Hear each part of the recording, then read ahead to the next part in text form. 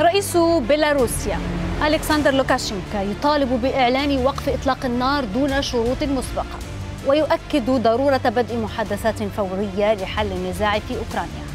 لوكاشينكا قال أيضا أن الغرب يسعى إلى غزو بلاده وتدميرها داعيا إلى وقف الحرب في أوكرانيا منعا لحصول تصعيد أكبر محذرا من خطر اندلاع حرب نووية بسبب الدعم الغربي لأوكرانيا. الكرملين رد بالقول إن موقف روسيا من العملية العسكرية الخاصة في أوكرانيا لم يتغير وإن العملية مستمرة معتبرا إياها الوسيلة الوحيدة لتحقيق الأهداف الروسية حاليا.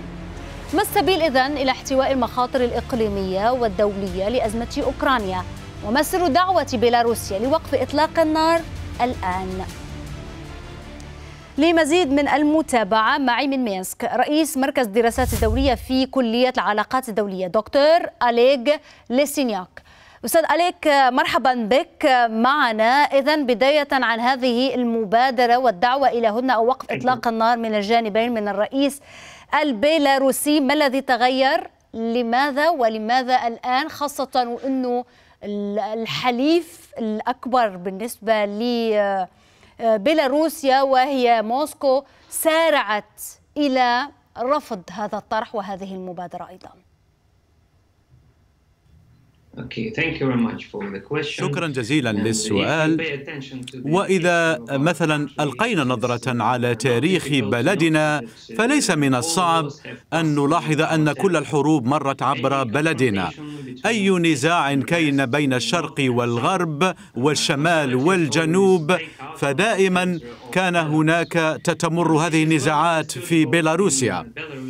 طبعا العلاقة الآن بين روسيا وبيلاروسيا هي قوية. وحتى مثلا اللجنة الأولمبية الدولية منعت دولتنا من المشاركة في الألعاب لأنهم يرون بأننا نقف مع روسيا. أعتقد بأن الدول الغربية بكل تأكيد تقود حملة ضدنا. وإذا نظرنا إلى جيراننا من يقدم الأسلحة مثلا؟ في المستقبل إذا لم أخطئ أظن بأنهم سيرسلون دبابات أبرامز ودبابات البانترز والعديد أيضا ربما حتى من الطائرات النفاثة وغيرها والمدفعية. الخطأ بالنسبة للناتو هو أنهم وضعوا قواتهم بالقرب من حدودنا وبيلاروسيا لم تستفز قط. دول الناتو. ولكن, ولكن, ولكن هناك أي إشارات دكتور أليغ على أن الغرب يستفز بيلاروسيا؟ لأنه الرئيس أشار إلى هذه المسألة وربما حتى أنه بلاده مهددة بغزو بلاده من بولندا. ما هي الدلائل على ذلك؟ ومن يرغب حتى من دول الناتو أو دول الجوار لتوسيع دائرة الصراع بالنهاية؟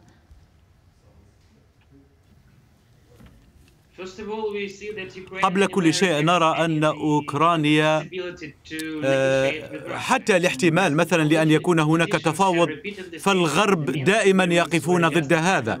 وحتى اتفاقية مينسك التي وقعت في مينسك الغرب تخلى عنها وأوكرانيا أو النظام في أوكرانيا تخلى عنها.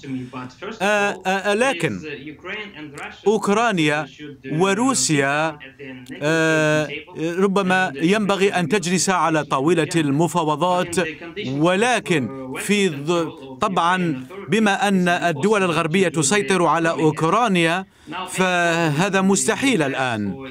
وإذا نظرنا إلى الولايات المتحدة ودورها الكبير فبسبب التوتر بين واشنطن وروسيا وبسبب الأزمة الاقتصادية التي ضربت حتى أوروبا فرأينا ذلك التضخم الذي حدث. فأظن طيب ولكن هذا كله يكون ضد التوجه انه قد يكون هناك غزو أو تدخل أو مساعي لتوسيع الصراع إلى داخل بيلاروسيا. من هذه التصريحات بوجود تهديد من أجل تبرير وجود أسلحة نووية تكتيكية روسية في الأراضي البيلاروسية بل ولوكاشينكا ذهب إلى ابعد من ذلك على استعداد بلاده لاستقبال تلك الاستراتيجية.